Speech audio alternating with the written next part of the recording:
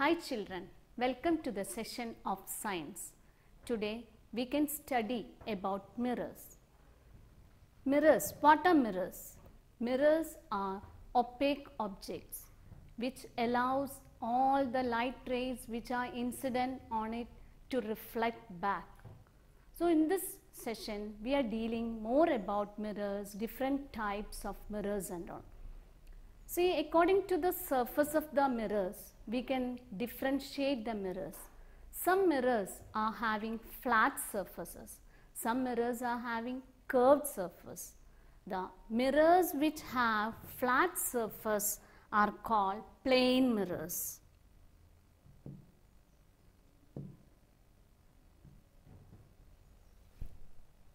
This is a plane mirror.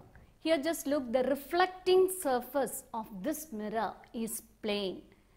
Reflecting surface is plane or flat. Such mirrors are called plane mirrors.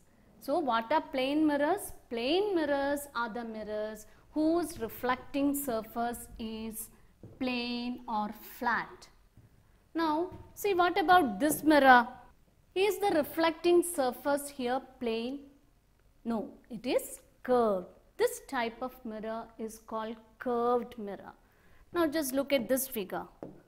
What about this one? Here also see the reflecting surface is not plane. It is curved. Such mirrors are called curved mirrors. So if the reflecting surfaces are curved, these mirrors are called curved mirrors. Now what is the difference between these two mirrors? Here just look here.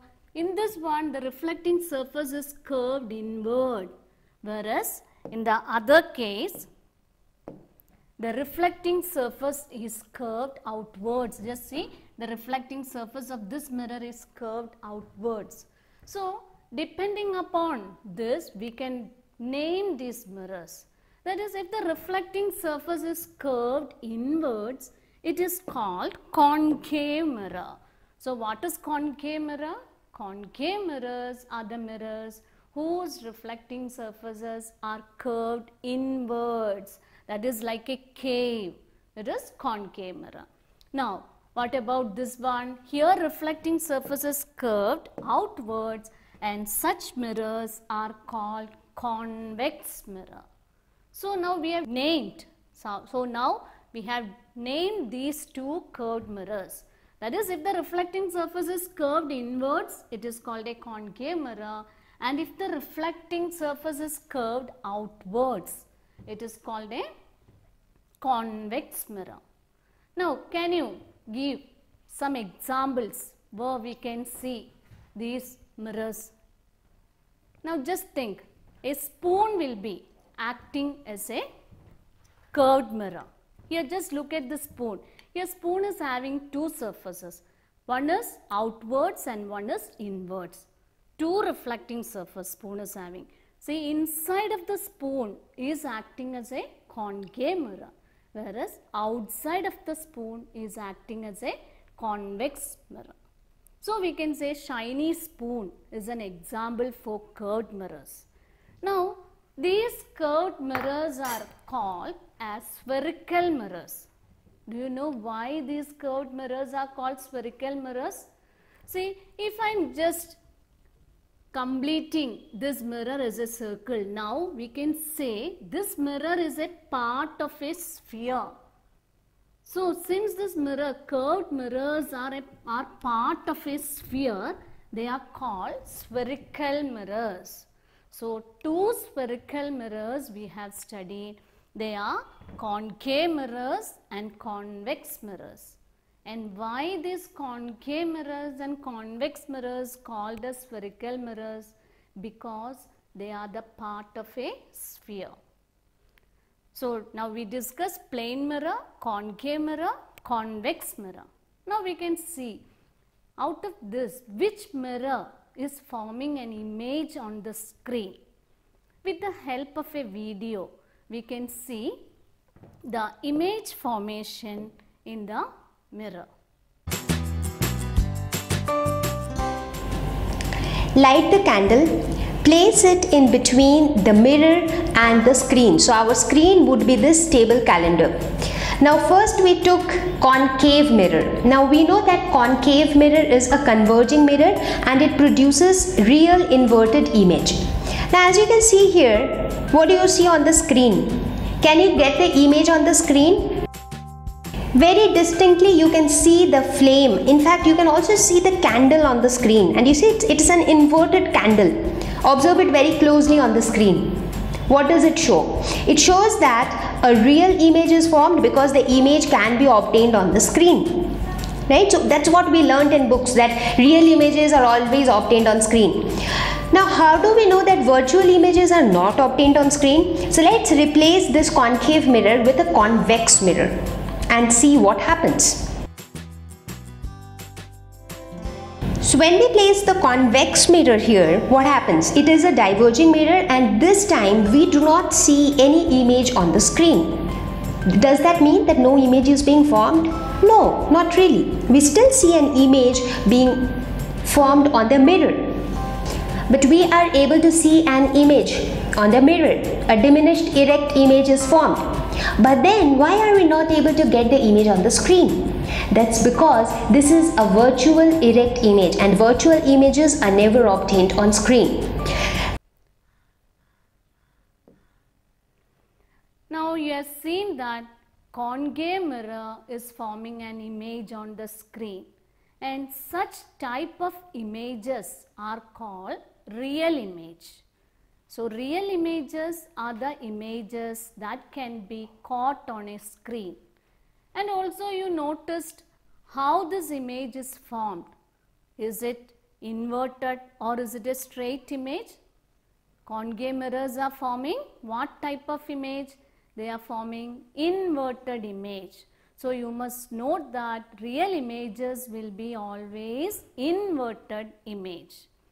What about convex mirror and plane mirror? They are not forming an image on the screen.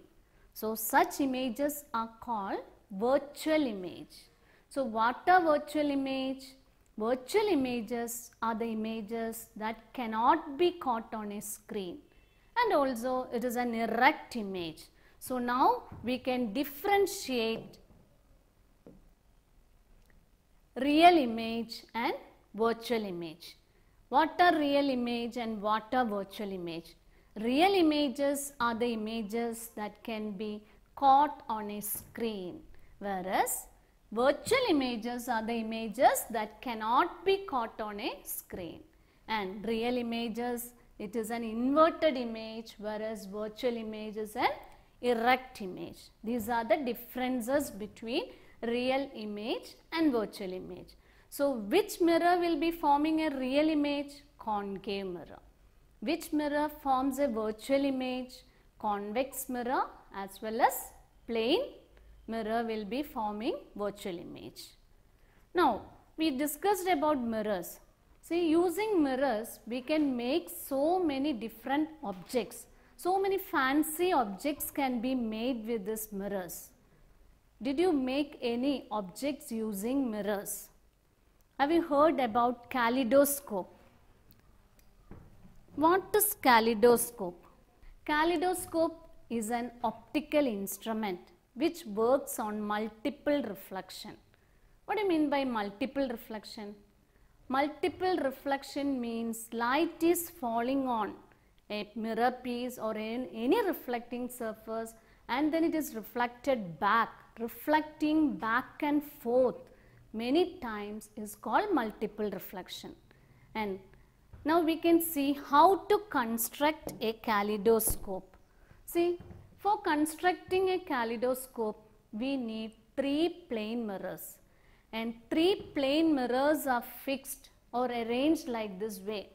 Using a sellotape or a using gum, you can just arrange three mirrors and just close one end of the mirror with a transparent glass or transparent polythene cover.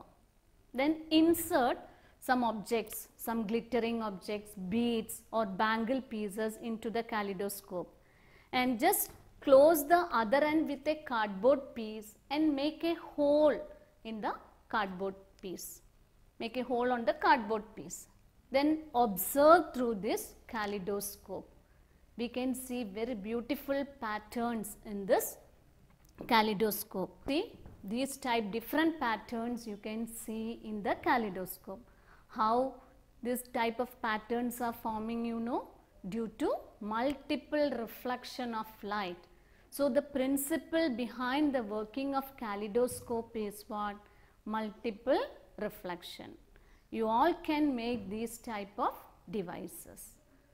Another device which we can make using plane mirrors periscope. All of you heard about periscope. What is periscope? What is periscope? Periscope is a device which is used to observe objects above the sea level. See, it works on the principle of multiple reflection of light. For constructing periscope, we need some cardboard pieces or PVC pipe and we need two plane mirror. These two plane mirrors are fixed at an angle of 45 degree. Just look how this person is viewing an apple. Now light from this apple is falling on the mirror. And what happens whenever light falls on the mirror? It is reflected. It is reflecting at an angle of 90 degree and falling on another mirror. And from here again it is reflected and it reaches the person and thus he is seeing what the apple.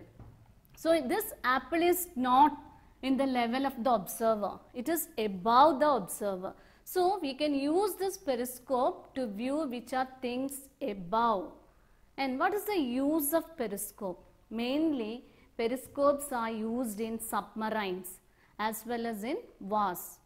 Do you know what are submarines? Submarines are the ships that are moving under the sea and they will be in using this periscope for spotting or viewing the ships or other boats on the sea surface and also this periscope is used in wars in the first world war and all periscope is used. So, we can make periscope, kaleidoscope etc. using plane mirrors. So many other objects also you can make using this plane mirror. Now, we discussed about plane mirrors. Now we can move on to the uses of mirrors. We discussed what are plane mirrors, what are concave mirrors, what are convex mirrors. Now what about the uses of these mirrors? Uses of plane mirror. First use we can say plane mirror is used to observe our face or view our face. What peculiarity of the mirror is used in viewing our face? It will give you an image of the same size as that of the object. So, plane mirror is used to view our face. As well as the plane mirror is can be used to make kaleidoscope, periscope, etc. Then another one concave mirror. Where this concave mirrors are using. What are the uses of concave mirror? It is used in shaving mirror or makeup mirrors. Which peculiarity of the mirror is used for making shaving mirror or makeup mirror? So if you are using concave mirror for shaving mirror or makeup mirror, it will give you an enlarged image of the object. So we are using concave mirror for making shaving mirror or makeup mirrors. One see it is used in the reflector of torch. Have you seen the torch? Inside the torch there is a reflector made of mirror. What is the use of this reflector? How this reflector is working? So what happens you know? Eh, Either it reflect light as a parallel beam so that we can see or light can pass properly and we can see the objects very clearly. So concave mirrors are used as a reflector in torch as well as it is used in solar heaters or solar cookers. See how this is working you know concave mirror will be converging all the light rays or all the heat rays to a fixed point that is used for making solar heaters. So what are the uses of concave mirror? It is used as a shaving mirror or makeup mirror used as a reflector in torch as well as used in solar heaters. Then convex mirror. What is the use of convex mirror? You can see some mirrors used in the vehicles as side mirrors or rear view mirrors. Rear view mirrors are called convex mirrors. Why convex mirrors are used as a rear view mirrors? Because it will be giving you a wide area of vision. A wide area you can see as well as you can see the images diminished. That is since we are seeing a wider area the image will be diminished. Another one you can see in the corners or sometimes in the curved roads and all some mirrors fixed no. That type of mirrors are called convex mirrors. It also gives a wider field of view so that there won't be any accidents and all. You can see some vehicles coming from the curved side and all. These are some of the uses of convex mirrors. So, plane mirror uses concave. So, we have studied about the uses of plane mirror, concave mirror as well as convex mirror. I hope all of you have enjoyed the class. Thank you.